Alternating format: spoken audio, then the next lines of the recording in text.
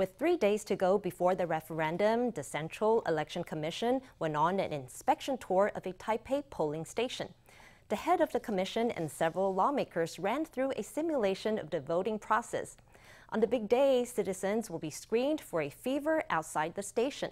Those who don't pass will be detected to be directed to a special booth where they'll still be able to vote. An election worker demonstrates each step voters should take on the big day. Outside the polling station, voters must first get their temperatures checked and hand sanitized. Today, a lawmaker asks if people with a fever can still vote. The 4 in 1 referendum is this Saturday. Ahead of the vote, Central Election Commission head Lee Chin-yung and legislators visited a polling station to check that everything was in place. They inspected the voting procedure and traffic flow. Before receiving their ballot papers, voters will be asked to take off their mask for an identity check.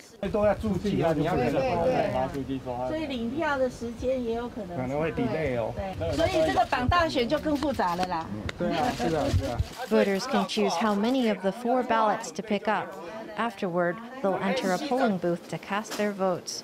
There will be special booths for voters who arrive with a fever, but people in quarantine or home isolation will not be able to vote. After making their choices, each ballot should be inserted into the ballot box of the corresponding color. This is the first time that Taiwan has held a referendum separate from a general election. The Referendum Act does not prohibit the release of opinion polls on the day of the vote. However, it's illegal to interfere with or persuade other voters within 30 meters of a polling station. Using loudspeakers to create noise within 30 meters of a station is also strictly prohibited. It's illegal to wear any accessories related to the referendum, including masks. But each campaign in this referendum has issued its own face masks. If on voting day there are instances that fall in the gray area, how will a determination be made?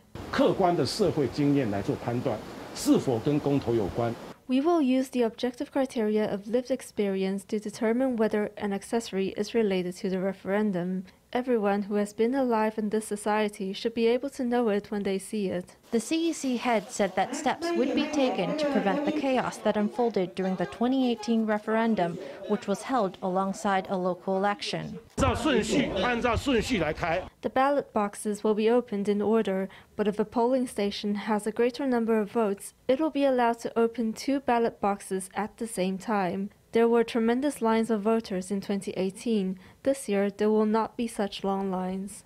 Ahead of the December 18th referendum, the CEC is poring over every detail to ensure a smooth voting process.